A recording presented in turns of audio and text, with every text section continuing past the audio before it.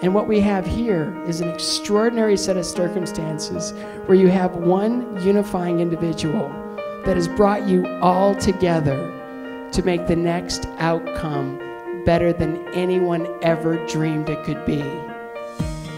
You are all doing that.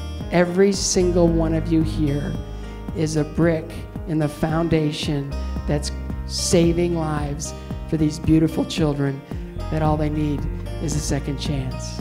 How cool is it to get a gold medal from a gold medalist from Scott Hamilton? I think you had something you wanted to say to us tonight. I'm going to give you the microphone. Just thank you for supporting us through our, all these times. I really appreciate it. I love you guys.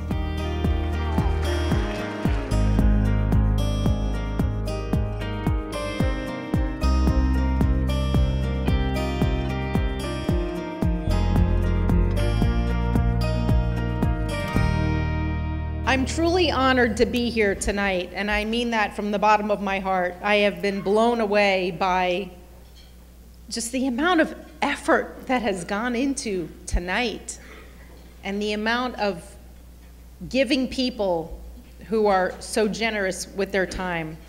Team Jack stands for something so much more than just little Jack Hoffman.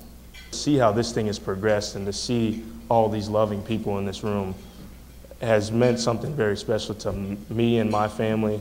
And I know on behalf, I can talk to, on behalf of the Hoffmans and Team Jack, that we appreciate and love everybody in this room. Our foundation has the confidence to ask big, believe big, and expect big things. Let's give the state, our nation, and our medical community something to talk about. Now give me a shout back. Go Team Jack! Go Team Jack!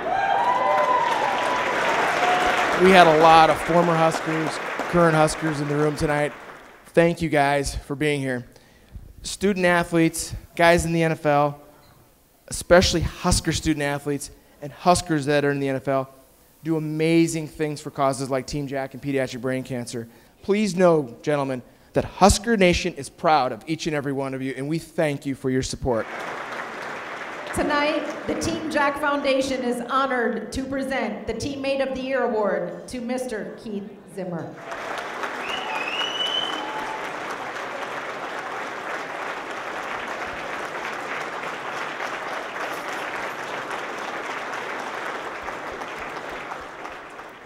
Yeah, I just wanted to say it all began because of him. This all is happening because of this man right here. So thank you for everything, Keith. You are the man. What does it mean to you knowing how you first introduced these guys three years, three and a half years ago, into what this has grown into and the tremendous work that is being done? So thankful to be a part of it, and I know our current athletes, our alumni athletes, in all of Nebraska. I mean, we take great pride in what Team Jack has grown into and the national difference and awareness we're making. All right, uh, this is the portion of the evening where we ask you to bust out your cell phones. You've been uh, using them for any social media tonight or taking pictures, but we're going to ask for some donations tonight. This is extra cool to see happen. Let's see when we get to 30,000. There we go! We're 30! So we're going to auction this item off. It is a one-of-a-kind collector's item signed by Scott Hamilton. 12 and a half, $1,500. And now 15. 12 and a half, bidding to $1,500. At 15 here, 17 and a half, bidding to 1750. Sold them, $1,500.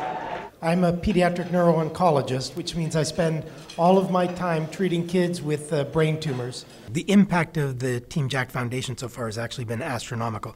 Although the foundation's only been going for a couple of years, in fact, there was a we recently identified a new drug that looks like it would be ideally suited for a very specific type of tumor in children, a uh, particular type of brain tumor. But we've also recognized that pediatric brain tumors are incredibly complex. There's some 300 different types and grades of brain tumor, and we already have a number of drugs that attack different of those mutations, which means we're actually beginning to revolutionize the way we think about these tumors. And that kind of stuff happens because you know, the foundations like the Team Jack Foundation have committed to helping us forward in this endeavor. This is a $30,000 check from Dorothy Lynch to Team Jack. There truly is no place like Nebraska.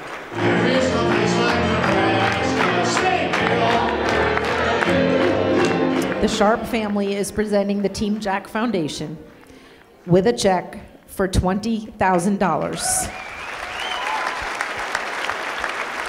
Uh, this donation uh, is obviously in memory of Evan, who we lost, and Rhonda. That's the best way we can honor her. We thank you for that. And uh, where's Jack? Cancer does suck, man. But we're going to beat this, all right? And for all you guys, too, we're going to beat this.